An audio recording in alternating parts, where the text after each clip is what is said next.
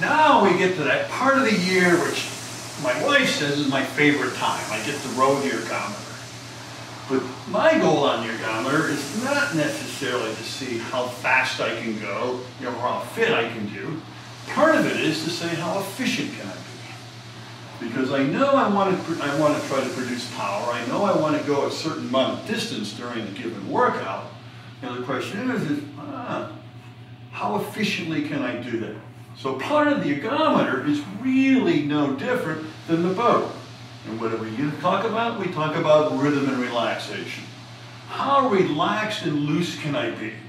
We know that on the ergometer, the chain can be level. So that we can go nice level chain, nice horizontal chain back and forth. So what does that mean? It means in terms of my arm motion, what am I going to do? I'm just going to simply hang on to the hands I can really think about my elbows. So I'm really thinking about a lat muscle right there to be able to get the arm motion. I feel, huh, there's the arms. There's the arms. There's the arms. If I go harder, what am I going to do? I've got to feel the wheel, pull the arms. Feel the wheel, pull the arm. Relatively easy to go horizontal, relatively easy to feel that connection there to the lat muscle, and be able to, ah, that's my arm part. That's my arm pull. Body, a little more complicated. I know I don't want to come up. I don't need to come up with my body. I want to come back and forth. I want to come horizontal. So what do we do? We put a lot of emphasis right here on the core, right here on the abs. There's my toes down there on the foot stretchers. I can say now, ooh, I'm going to roll my body out. Ah, I'm going to roll my body out. A lot of coaches teach arms then body. A lot of coaches teach the idea arms and body over. I say body over what? I'm just going to go, ah, body. I'm really trying to reposition my mass, so what can I do? Ah, there's the body. Body, arms. It's real much easier instead of thinking arms, body, to think of it the other way, is I can think of it as body, catch. Body, catch. What am I going to do then? Oh, I'm going to lean, pull. Lean, pull. What am I trying to do? Trying to use a muscle group right here in the lower back. Not trying to go up in the shoulders, but right here in the lower back, right down here in the glutes. Really using this core through here. So I do, ooh, there's the core. Oh, there's the shoulders. I don't want to use shoulders. I want to stay in the core. So I can really think of my center of mass right here in the abs. I know I've got to reposition that mass. Ah, there's the body, there's the arms. There's the body, there's the catch.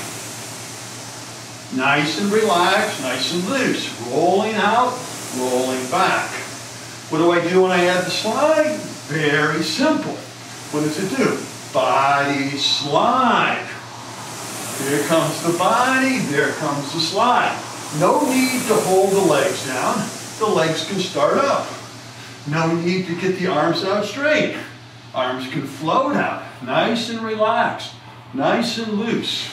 What's going to happen? Body, slide. Ah, coming up to the front end. Yeah, what am I going to do? I've got to connect to the wheel. I've got to connect my body mass to that flywheel. Ah, there's the hook right there. I connect to the wheel. I'm trying to connect my mass. Reposition it. Here's body. There's slide. There's the wheel. What am I going to try to do on the drive? Ah, we know I've got to accelerate the mass. So I get that mass connected. Now I'm going to do? Now I'm going to accelerate it. Come up to the front, accelerate it. Get ready, get ready, hook it, accelerate. How loose and relaxed can I be on that recovery? Ends up being very fluid, very rhythmic. To go harder, what do I do? More force on the feet. Gets me through the drive quicker, produces more power. Length of the stroke, very important. If I go shorter, less distance, not as much power. Longer, more power here in the legs, more range of motion, more power there in the body. Making sure that body comes all the way through.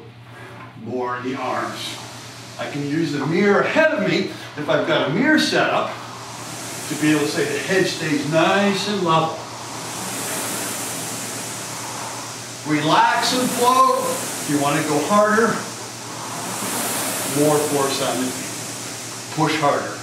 Keep it low, keep it right in this range.